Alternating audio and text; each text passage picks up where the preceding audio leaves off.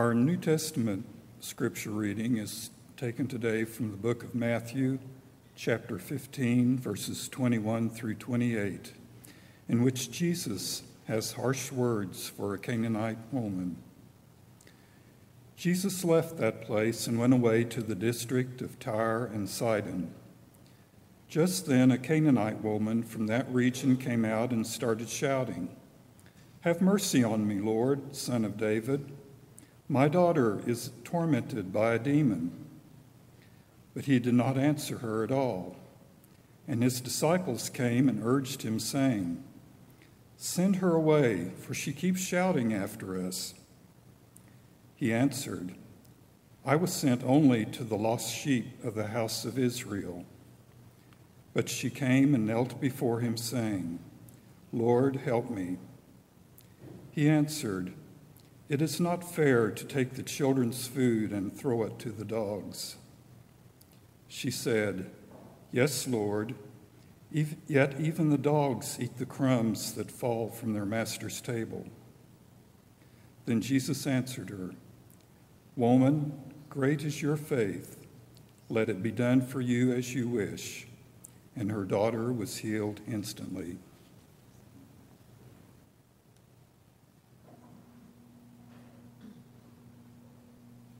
How many of you love your dogs?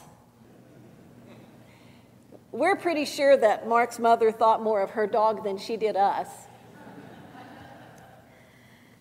In our culture, we have a pretty high view of dogs, don't we? As pets, as companions, as service animals. Each year, around October 3rd, which is the patron saint of animals, St. Francis of Assisi's feast day, we gather out in the courtyard and bless our animals. And for some reason, we've only ever had dogs come to that. Cats are welcome too, but, and others, but uh, we love our dogs. But in Jesus' day, dogs were held in much lower esteem. In the gospel reading today from Matthew, Jesus makes some remarks to a Canaanite woman that are quite unsettling. After yet another skirmish with the Pharisees, Jesus and his disciples had gone up to the area around Tyre and Sidon, Gentile territory, north of the border of Israel, where there was probably a large Jewish community. There they were approached by a Canaanite woman. Mark's gospel identifies her as Syrophoenician, but Matthew chooses a term that would recall the ancient tensions with the Canaanites when Joshua led the Hebrew people into the promised land. She recognized Jesus' authority and believed that he had the power to help her and pleaded with him to heal her daughter. You parents know that when your child is sick, you will go to great lengths to get them help. She called Jesus Lord and even Son of David. That's significant because it was this woman who first spoke of Jesus in that messianic language. Not even his own disciples had done that yet. But Jesus ignored her. And the disciples tried to get him to send her away. Now, there are plenty of reasons for this woman to be overlooked. She was a Gentile approaching a Jew, a woman approaching a group of men in a gender segregated society, and a foreigner to Jesus and his disciples. Jesus' justification for ignoring the woman was that he was sent only to the lost sheep of the house of Israel. It may have been an indication of Jesus' self understanding of his mission, but it just doesn't resonate with our picture of who Jesus was, does it? But the woman persisted. She knelt before him and simply said, Lord, help me. And then Unbelievably, Jesus spoke directly to her, saying it was not fair to take food from the children, his people, and give it to the dogs, in this case, the Gentiles. Did Jesus really say that? Some scholars think that in that culture, to call someone a dog was the lowest form of insult, a dehumanizing racial slur. We might call someone who made a comment like that a racist, which raises a very uncomfortable question about Jesus. Was he? Now, let's step back and take a look at this. Of course, Jesus was not a racist in the worst sense of the word as we know it today. But the human Jesus was raised in a culture in which oppression, sexism, and even racism was common. He would have been taught to give thanks in his daily prayers that he was a Jew rather than a Gentile and a man instead of a woman. Such attitudes were taken for granted, at least by those whose lives were not adversely affected by them. But the Canaanite woman was not intimidated by Jesus' insult. She called him out on it.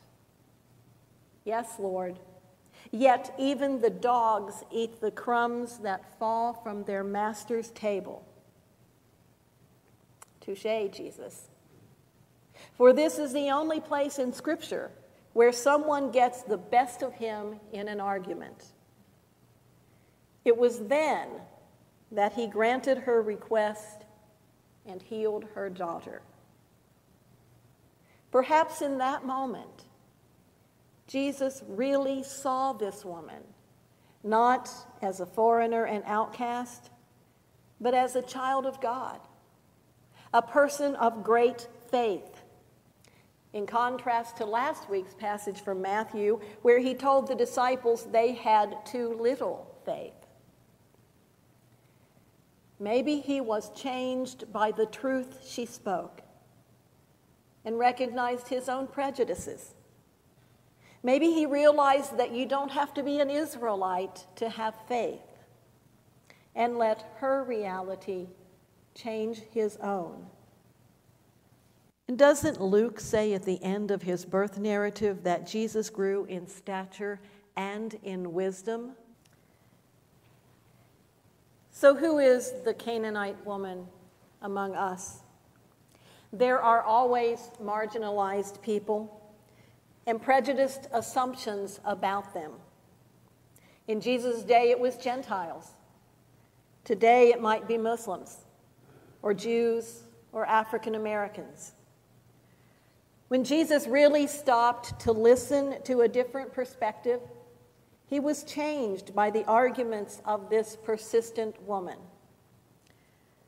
I like to think that our perceptions can be changed too by acknowledging our own prejudices.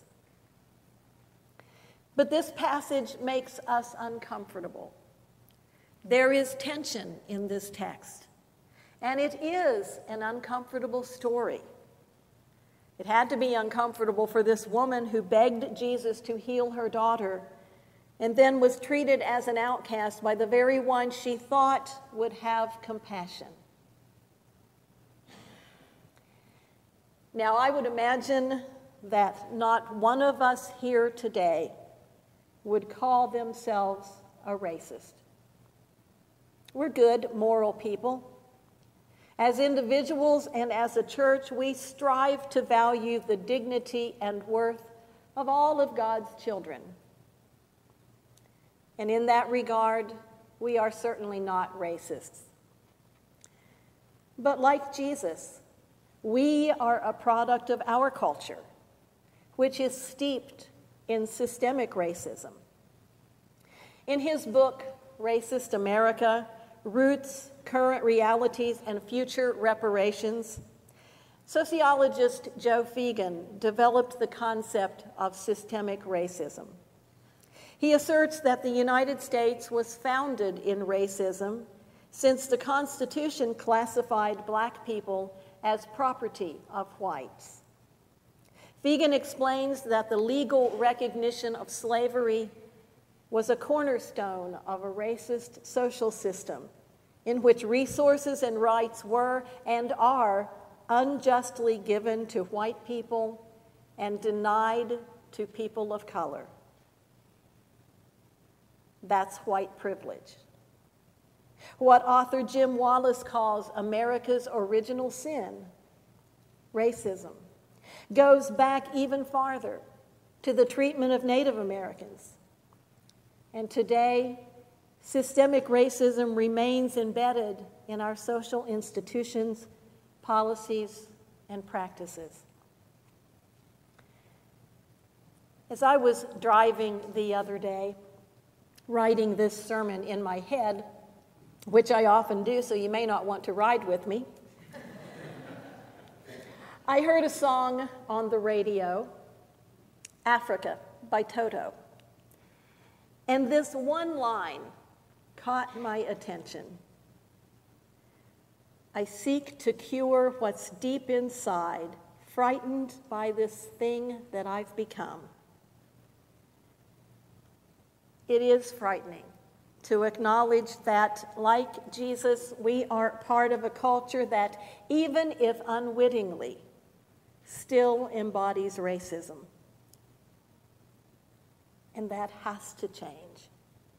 Before we have another Charlottesville or Charleston or who knows where next, perhaps even Springfield.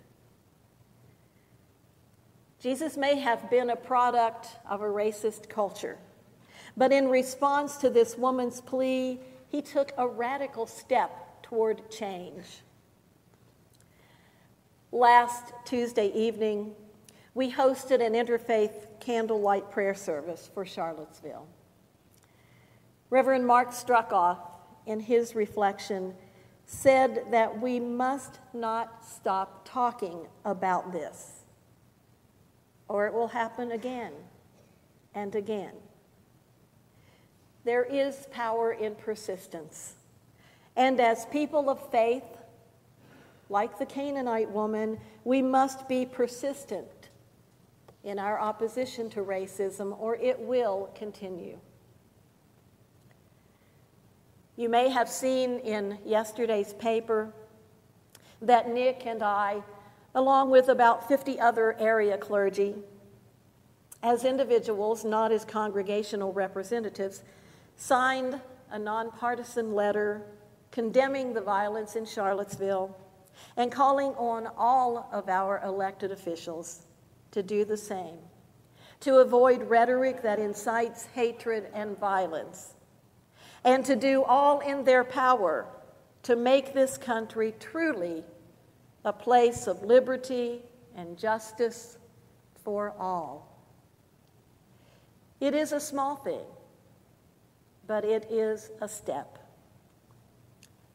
So let us pray for and work for the day when no one will be considered less than any other, no matter the color of their skin, who they are, or where they were born.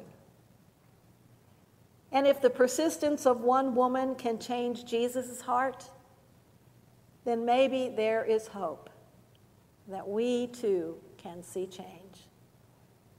Amen.